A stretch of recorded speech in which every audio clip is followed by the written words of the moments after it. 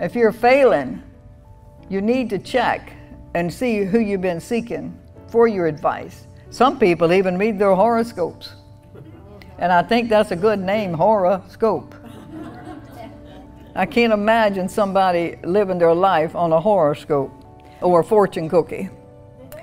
Uh, we do get chopping, we do get Chinese food, and they do put the cookies in there, and we broke them, we break them open, eat the cookies, throw away the paper.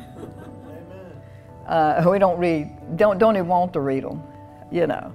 Can you imagine how, how silly that is? Can you imagine, you know, that you know they're producing these things by the millions, and people actually believe it. It's amazing what people will believe.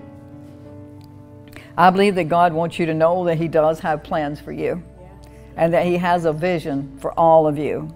And the prophet Jeremiah gives us a promise from the Lord in Jeremiah 33, verse 2 and 3 in the New Living Bible. It says, This is what the Lord says The Lord who made the earth, who formed and established it, whose name is the Lord. Ask me, and I will tell you remarkable secrets you do not know about things to come. God can tell you things about things to come that you don't have a clue. Thanks for watching.